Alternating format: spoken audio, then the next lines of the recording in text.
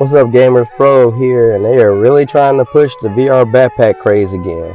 So apparently, Zotac they came out with a VR backpack, and it met a lukewarm approach. Like a lot of people don't want to have a PC on their back and everything, but they're trying it again. They came out with their newer version, uh, the VR 2.0, and it's actually interesting just to read up on what they've done to improve it. Now, you guys take a look at the link from PC Gamer uh, for this article. You can guys can read up some of the details of it. I'm gonna talk to you guys about some of the details, but if you want to see the rest of the details they talked about, you guys take a look at the link in the description.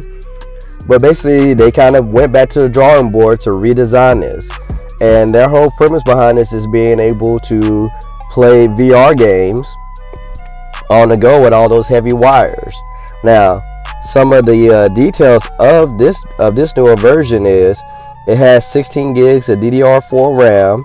It's a 240 gig uh, M.2 SATA solid state drive, which is not bad. There's also a 2.5 inch drive bay, so you can add more storage, plus a 3-in-1 memory card reader.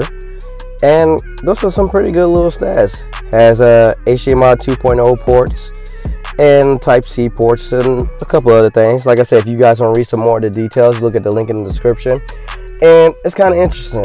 Now, one thing that kind of caught my attention was the battery life on it. Now, they do give you some uh, additional batteries that you could swap out on the fly.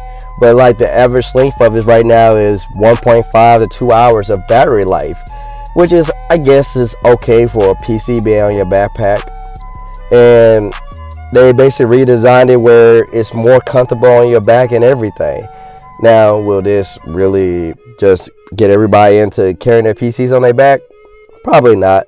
This is for a specific group people that just want to have something unique or different, or if you really want to play on the go like that. Most people they carry their PCs with them. They already carry it in a backpack, but they don't want their backpack to be their PC. So we'll see how it goes. It is interesting to see it like I said, I'm not I'm not saying that it's going to just spread off and everybody just start getting PC backpacks. People might, people might not. But right now, I don't think that's going to be the biggest craze everybody wants. Now they have the battery life that's probably like five, six, maybe eight hours length. Some people might actually consider that. But I know me, I always carry more of the things with my backpack. I always have my camera, my controllers, and other stuff. So my backpack being specifically my PC will probably never happen. But it is kind of interesting to see. Let me know what you guys think. Would this be something that you'll be interested in if you had the money? Would this be something you would just try out? Let me know what you guys think in the comments. Because like I said, this is a pretty unique thing. It's pretty it's pretty cool in my opinion. But you know, I don't see a lot of people just going out to get this. If you haven't already subscribed, make sure to hit that subscribe button. We post videos of things going on in the gaming and tech world. Do reviews on some of the latest games. Review tech that's out to help you make sure you're getting the most for your money. We do top 10 of the newest games coming out every month and so much more. Make sure to follow us on our Facebook page and our IG page so you can keep up to date with us, what's going on with us here at the Average Gamer Crew. If you want to reach out to me or the infamous Ty here on the channel, or if you want to let us know something that's going on in the gaming and tech community. Catch us streaming on Twitch and Mixer. You can catch me on Mixer every Monday and Wednesday and Twitch every Tuesday and Thursday.